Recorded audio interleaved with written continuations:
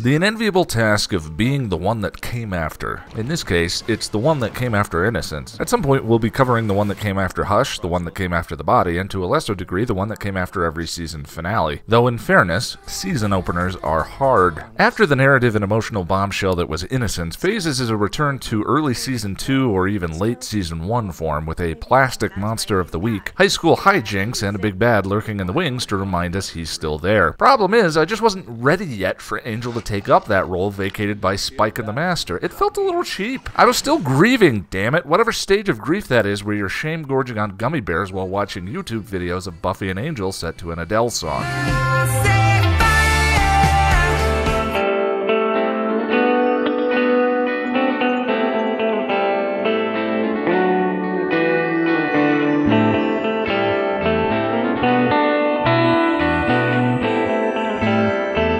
Phases opens with a phenomenal throwback moment to Witch as Oz notices the eyes of the cheerleader trophy following him wherever he goes. After a short awkward talk with Willow, Oz runs into Larry, the stock high school character from Halloween who has douche dialed up to 11. That's great, Larry. You've really mastered the single entendre. Larry asks Oz how far he's gotten with Willow, and in a nice cut, Willow tells Buffy they've gotten nowhere. In an unusually insensitive and slightly unbelievable flub, Willow forgets the soul crushing events of the previous episode. I don't want to be the only girl in school without a real boyfriend. Xander and Cordy are making out in their car when they get attacked by a hairy monster. In gym class the next day, Larry has a fresh wound on his arm from a dog that bit him. Oz quips, I've been there, man. My cousin Jordy just got his grown up teeth in. It's not like to be tickled. Self defense class then begins, and sexual harassment Larry is in a group with Buffy. Willow reminds her, Yeah, you're supposed to be a meek little girly girl like the rest of us. Really? Since when? In Halloween, Buffy already threw this guy into a vending machine. So Buffy feigns wimpiness, and Larry takes advantage. Oh, Summers, you are turning me on. Alright, there are a few elements in this episode that just don't play right for me. Larry is the first. Yes, I understand the joke his persona is setting up for later in the episode, but the writers have him dialed up so high, it's like watching a cartoon. Oh, thank you, Thigh Master. Buffy and Giles go werewolf hunting and stumble on the misogynist MacGuffin werewolf hunter, Cain. Problem number two for this episode. Alright, so leaping ahead a bit, Cain exists solely to create a problem for our characters to solve by the end of the episode. Can they get to Oz before Cain does? It's just lazy writing. He's a chicken nugget in a steakhouse. There were so many juicy opportunities for drama here without tossing this guy in. Oz is a werewolf now. He's Bruce Banner in the Hulk, which comes with automatic opportunities for drama that, unlike our one dimensional werewolf hunter, grow a significant character in the show. They do a little bit of that, but why not simply have Oz on a rampage? Can Buffy get to Oz in time before he does something that can't be undone? Instead, we get And then you, well, you're a girl. Theresa, the object of Larry's earlier desire, is walking home from class and runs into Angelus, who walks her home. At the Bronze, Cordy and Willow are commiserating over Xander's level of distraction and Oz's lack of touchy-feeliness. It's another scene that doesn't work for me, given the thing that Xander is distracted about is Willow, and in a scene earlier with Buffy, Willow called Cordelia a skanky hoe. Would these two really be sharing with each other?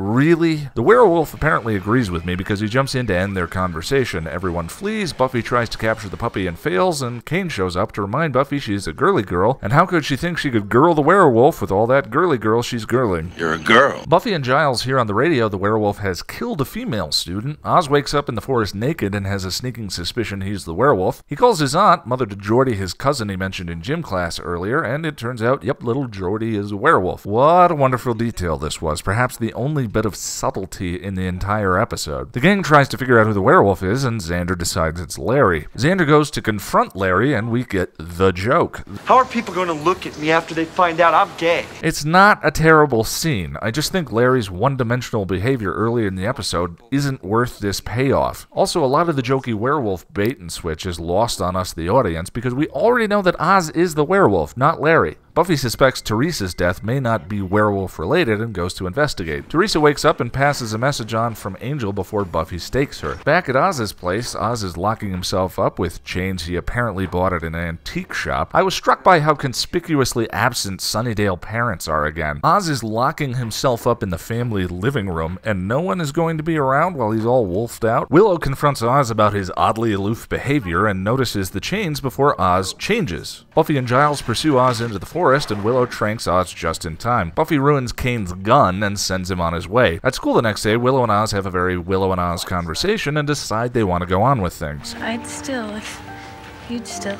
I'd still. I'd very still. Yeah, alright, fine, I'd still too. It's not that any of this is without merit. The Cains and the Larrys of this episode do serve a purpose, Larry's being slightly more interesting. There are many phases going on. Oz is in his werewolf phase. Willow mentions her three days a month phase. Larry is in his closet phase, and Angel even mentions in the last episode a phase of his own. No more of this I've got a soul crap. What can I say? Hmm?